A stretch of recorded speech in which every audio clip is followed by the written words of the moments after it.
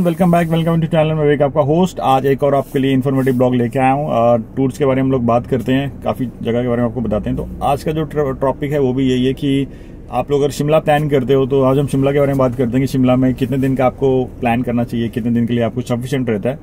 And कहाँ से जाते देखो जैसे आप लोग को पता है कि हम लोग दिल्ली से भी टैक्सी लेके आप लोग शिमला जा सकते हो। चंडीगढ़ से भी जा सकते हो अम्बाला से भी जा सकते हो। तो दिल्ली से एयरपोर्ट से पिकअप है रेलवे स्टेशन से है बस स्टैंड से है होटल से, वो भी हो जाता है। देन अगर हम चंडीगढ़ से बात करें तो चंडीगढ़ से भी एयरपोर्ट है रेलवे स्टेशन है, वहाँ से भी आपके पिकअप हो जाते हैं और अम्बाला से रेलवे स्टेशन है, वहाँ से पिकअप हो जाता है। तो बेसिकली देखो, अगर आप दिल्ली से प्लान करते हो शिमला तो एक दिन तो पूरा पहुँचते पहुँचते आपका फिनिश हो जाता है। एक दिन आते आते फिनिश होता है और मैक्सिमम वहाँ पे दो दिन का स्टे आपके लिए सफिशियंट रहता है। तो शिमला अगर घूमना है दिल्ली से आप प्लान करते हो तो फोर डेज़ का सफिशियंट रहता है शिमला घूमने के लिए। और दिल्ली से बात करता हूँ, दिल्ली टू चंड दिल्ली टू शिमला जो है आपका ट्रैवलिंग टाइम रफली मान के चलो आठ से नौ घंटे लग जाते हैं मिनिमम बता रहा हूँ मैं आपको कि बीच में स्टॉपेज होते हैं, जैसे ब्रेकफास्ट है लंच है डिनर है। और सेम जो डिस्टेंस है वो three eighty three ninety kilometre के आसपास गाड़ी चलती है। और अगर आप चंडीगढ़ से प्लान करते हो कि शिमला जाना है तो चंडीगढ़ से तो three three days are sufficient because Chandigarh से सिर्फ़ एक सौ किलोमीटर है और तीन, साढ़े तीन घंटे लगते हैं चंडीगढ़ से शिमला पहुँचने में। अंबाला से आधा घंटा ज़्यादा लग जाएगा क्योंकि अंबाला जो है चंडीगढ़ से चालीस किलोमीटर पैंतालीस किलोमीटर पहले आ जाता है। अब देखो शिमला में घूमने के लिए क्या क्या है जो बेसिक है ना, देखो शिमला में आपको देखना है, जैसे वहाँ पे माल रोड है जो मेन है। माल रोड पहुँच के आपको ऐसी फीलिंग आएगी कि आप किसी फॉरन में पहुँच गए हो। बिल्कुल नीट क्लीन एकदम साफ़ सुथरा कम से कम आई थिंक एक किलोमीटर के आसपास वो माल रोड की लेंथ है लेफ़्ट राइट दोनों साइड शॉप्स हैं, अच्छी मार्केट है अच्छा क्राउड है और मीन्स आपको ऐसी फीलिंग आएगी कि आपकी फॉरन में पहुँच गए हो। और माल रोड पे कोई गाड़ी लाउड नहीं है, कोई स्कूटर टेंपो बस कार आपको कुछ नहीं दिखेगा। इनफैक्ट अगर आप माल रोड जाते हो तो ड्राइवर्स आपको नीचे जैसे हाई कोर्ट की पार्किंग है या लिफ्ट वाली पार्किंग है, वहाँ पे आपको ड्रॉप करते हैं। वहाँ से आप लिफ्ट में ऊपर माल रोड मतलब जा सकते हो और माल रोड आपको पैदल पूरा कवर करना होता है। और पैदल भी दुनिया भर के रास्ते हैं। एक्चुअली माल रोड जो है ना, उसको हम रिज भी, वो काफ़ी लोग उसको रिज भी बोलते हैं। तो माल रोड जैसे मानो हाइट पे है, वो अंग्रेज़ों का बनाया हुआ है वो, हाइट पे है, और आपको नीचे से पैदल ऊपर चढ़ना होता है। और बहुत क्राउडेड रहता है। माल रोड भी क्राउडेड है, प्लस वो जो रास्ता जो ऊपर चढ़ने का भी क्राउडेड है, क्योंकि बहुत ट्रैफ़िक है और शिमला जो है हिमाचल की कैपिटल है तो वहाँ पे बहुत ट्रैफ़िक रहता है। माल रोड पे आपको देखो रिच मिल जाएगा, लक्कड़ मार्केट मिल जाएगी देन आपको स्कैंडल पॉइंट मिल जाएगा चर्च मिल जाएगा। तो ये तीन चार चीज़ें जो सब माल रोड पे आपको मिल जाती हैं, और Mall Road of the must कोई अगर आप शिमला जा रहे हैं तो माल रोड आपको मस्ट है मतलब देखने के लिए। उसके बाद एक वहाँ पे जाकू टेंपल भी है, बहुत फ़ेमस है, बहुत अच्छा टेंपल है। जाकू टेंपल की बहुत चढ़ाई है। तो कुछ ड्राइवर तो गाड़ी ऊपर तक ले जाते हैं पार्किंग तक, और कुछ लोग क्या, नीचे मेन रोड पे खड़ी करते हैं, और वहाँ से लोकल ऑल्टो या टैक्सी में आपको ऊपर जाना होता है। प्लस माल रोड के लिए केबल कार भी जाती है मतलब सॉरी जाकू टेंपल के लिए केबल कार भी जाती है, जो माल रोड से आपको मतलब एक पॉइंट है, वहाँ से केबल कार से जा सकते हो। और जाकू टेंपल में हनुमान जी का मंदिर है बहुत बड़ा मंदिर है, आपको जब आप शिमला पहुँचने वाले होते हैं ना तो आई थिंक मेरे को लग रहा है वो आठ दस किलोमीटर पहले से आपको ऊपर से दिख जाएगा। और प्लस वहाँ पे घूमने के लिए जो मेन मेन जो बता रहा हूँ एडवांस स्टडीज़ है। एडवांस स्टडीज़ भी क्या है छह सात किलोमीटर के रेडियस में है। अंग्रेज़ों की बनाई हुई लाइब्रेरी बहुत अच्छी है। उसमें भी क्या होता है कि गाड़ी पार्किंग तक आपको छोड़ती है। पार्किंग से मीन्स आप ड्राइवर ऊपर छोड़ के वापस आ जाएगा, पार्किंग में गाड़ी खड़ी कर देगा। जब दोबारा आपको पिकअप करना है, दोबारा गाड़ी जाएगी, पार्किंग से निकलेगी, ऊपर से आपको पिक करके नीचे लेके आएगी। देखो एडवांस स्टडीज़ में ऐसा है कि वहाँ पे एक नॉर्मल एंट्री टिकट है कि अगर आपको पूरा वो लाइब्रेरी घूमनी है तो आई थिंक सौ, डेढ़ सौ रुपये का टिकट है पर पर्सन वो ग्रुप में लेके जाते हैं। मीन जब दस बंदे इकट्ठे हो जाते हैं तो उनका एक गाइड होता है जो आपको पूरा लाइब्रेरी अंदर से दिखा के लाता है। मतलब एडवांस स्टडीज़ मस्ट मज़ा आ जाएगा आपको देखने का। देन एक तारा देवी टेंपल है। तारा देवी जो शिमला से पहले ही आ जाता है आई थिंक आठ दस किलोमीटर पहले आता है। तो तारा देवी का टेंपल आपको देखना है, आप इंटरेस्टेड हो। तो आप लोग जब चंडीगढ़ दिल्ली से आ रहे हो तो ऐसा टाइम प्लान करो कि आप तारा देवी से टाइम देख लो। वो भी अच्छा बहुत अच्छा टेंपल है। प्लस एक है वहाँ पे चैल। चैल का जो पैलेस है, वो भी बहुत अच्छा है। वो शिमला से तीस पैंतीस किलोमीटर साइड में है।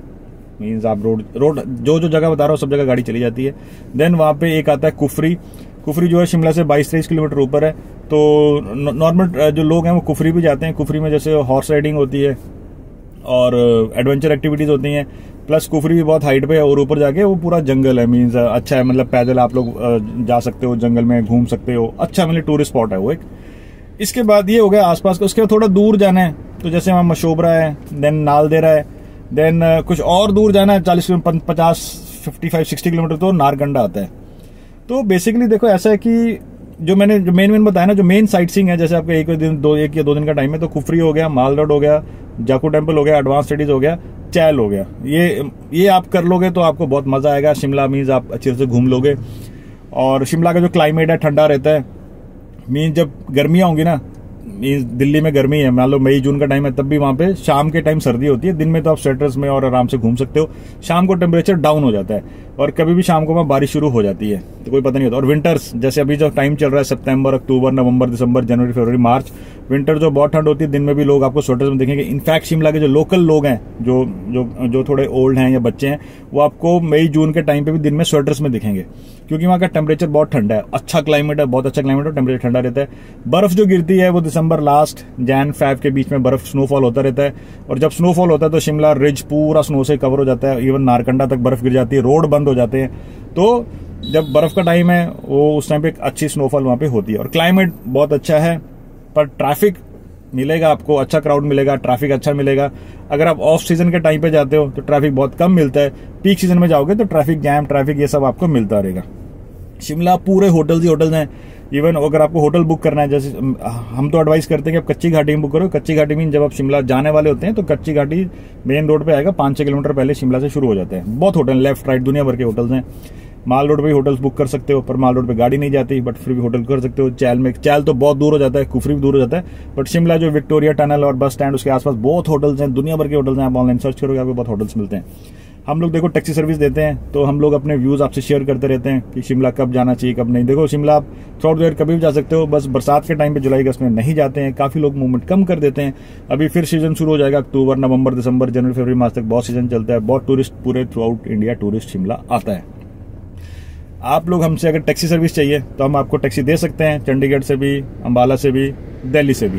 इनफैक्ट अगर शिमला से पिकअप करना है और शिमला घूम के कहीं आगे मनाली, धर्मशाला जाना तो आप हमसे गाड़ी ले सकते हो। काजा स्पीति जो रूट है, वो भी शिमला से होकर ही जाता है। शिमला से होकर ही आपको गूगल में एक रूट तो मनाली से दिखाता है। एक शिमला से होकर पूरा काजा स्पीति का शिमला से सर्किट शुरू होता है।